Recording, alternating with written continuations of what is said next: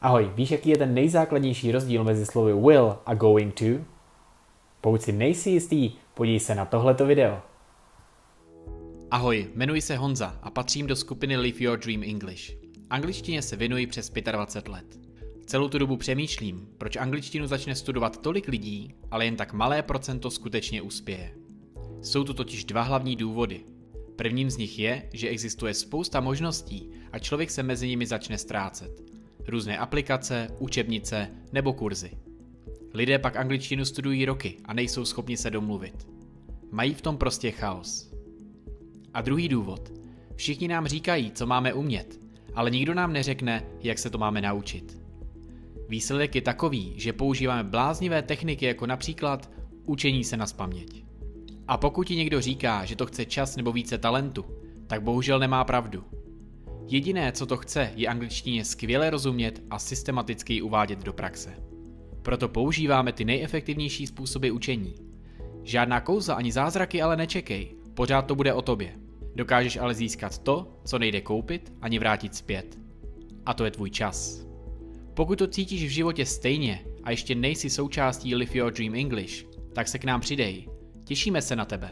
Hey guys, what's up? Another quick tip for your English. Další krátký tip pro vaši angličtinu, abyste dokázali zlepšit své porozumění a používání. Tentokrát se podíváme na budoucnost, na rozdíl mezi will a going to, což je mírně pokročilý rozdíl, velmi mírně, takže určitě se na to může mrknout, pravděpodobně jste někdy slyšeli, i když s angličtinou začínáte.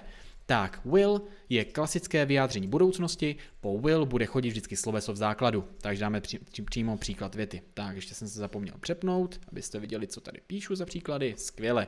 Takže já budu plavat, I will swim.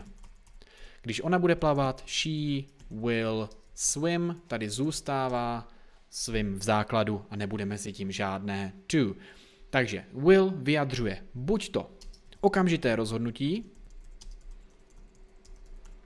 to znamená, že jste se rozhodli teďka, že otevřete dveře, I will open the door, nebo někdo volá vám na telefon, I will answer it, zvednete to nebo odpovíte na to, takže will vyjadřuje okamžité rozhodnutí, nebo může také vyjadřovat plán, takže jste se třeba minulý rok rozhodli, že něco budete dělat, takže I will go to France, pojedu do Francie třeba this summer. Takže nejčastěji okamžité rozhodnutí, ale může také vyjadřovat plán. Tak a potom je ještě, ještě dáme si otázky, jak se tvoří. Otázka bude will you swim, takže prohodíte jenom osobu s, tou, s tím pomocným will a ne, zápor se tvoří she will not swim, což se dá zkrátit na she won't swim. Tak tady pozor na tu výslovnost, aby to neznělo jako chtít, jako want, ale vyslovuje se to won't s účkem. Tak super, to máme slovo will a teďka ještě going to, kdy se používá going to. Tak going to se dá přeložit buď to taky jako budu, úplně to není žádný problém, a nebo ho můžete přeložit jako chystat se nebo plánovat. Pokud si chcete oddělit will a going to, tak můžete tohleto přeložit jako chystat se nebo plánovat. Tyhle dva překlady se mně líbí ze všech nejvíc. Tak, příklad věty. Vždycky dáme osobu, za to dáme být, tam nesmíme zapomenout na být před tím going to. Jo, tady jdem do závorky. Tak, pro osobu I je to být I am v přítomnosti, takže I am going to zůstane a dáte základní tvar slovesa, takže třeba chystám se plavat, I am going to swim. Nebo ona se chystá plavat, she a teďka být pro osobu she je she is going to swim.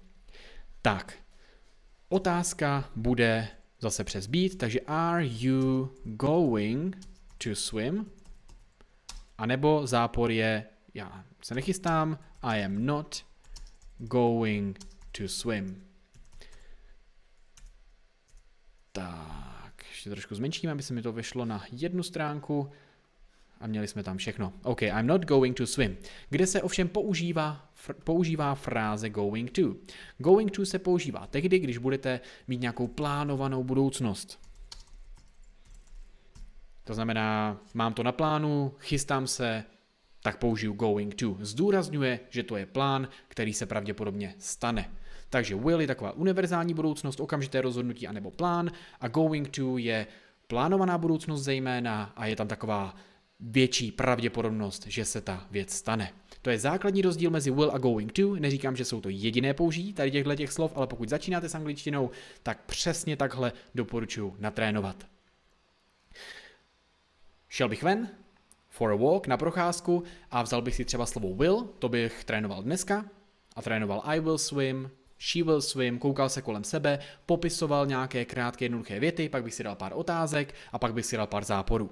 A zítra bych šel zase na procházku a vzal bych si going to a trénoval bych going to, abych si zažil tady tohleto, aby to bylo vaše, abyste cítili, že jste s tím v pohodě a můžete to použít. Takže teorie je super, ale určitě je důležité to trochu uvést do praxe. Pokud nemáte teďka zrovna příležitost hovořit s někým, tak eh, doporučuji povídat si sám se sebou, funguje to velmi dobře, jako třeba když jsme byli malí, tak taky děti kolikrát nepovídají někomu, ale jenom trénují to mluvení sami se sebou.